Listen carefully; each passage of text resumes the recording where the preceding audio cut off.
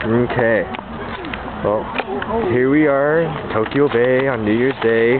There's hundreds, maybe thousands of people all lined up look at the sunrise. And they're all lined up like it's a rock concert. Lady smoking with some noodles. And there's more people coming. A lot more people coming.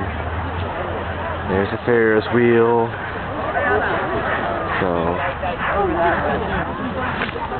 this is my new friend Portia. Portia, say hi. Hey, how's it going? So, how was the ride over here? Uh, oh, yeah, awesome.